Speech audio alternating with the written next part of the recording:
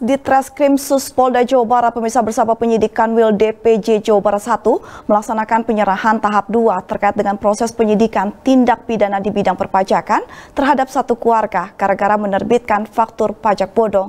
Para tersangka meraup uang negara hingga 98 miliar rupiah lebih dari hasil penerbitan faktur pajak bodong.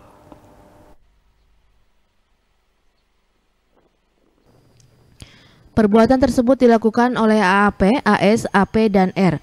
Para tersangka menerbitkan faktur pajak fiktif untuk tiga perusahaan, yaitu PT LSE, PT SPJ, dan PT PIK. Perusahaan tersebut bergerak di bidang niaga penjualan bahan bakar minyak.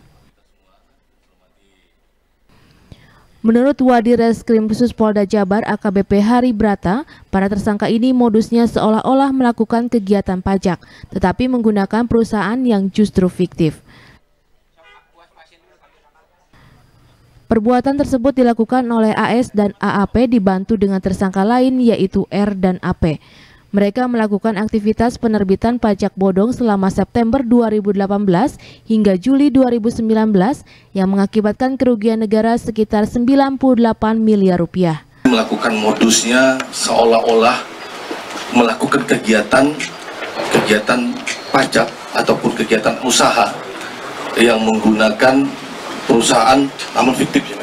Nanti mungkin teknisi nanti lengkapnya akan disampaikan oleh dari PPNS Perpajakan dari Dirjen Pajak. Kerugian yang sudah di, ditaksir sekitar 98,59 miliar. 98,59 miliar kerugiannya.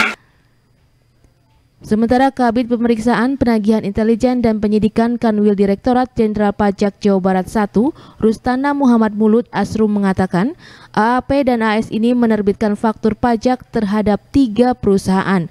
Ketiganya seolah-olah membeli BBM untuk mendapatkan fee pajak dari negara bahwa dalam rangka membuat atau mengupload faktor pajak TBTS tersebut, tersangka AS alias DAS dibantu oleh tersangka AAP alias A yang berperan sebagai operator pengupload faktor pajak TBTS berbentuk elektronik.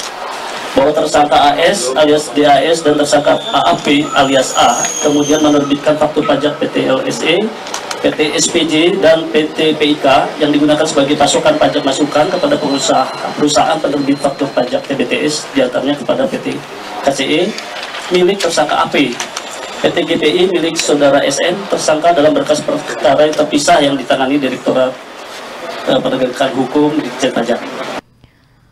Akibat perbuatannya, keempat pelaku dijerat Undang-Undang Nomor 16 Tahun 2009 Junto 64 KUHP dengan ancaman pidana penjara paling singkat 2 tahun dan paling lama 6 tahun penjara.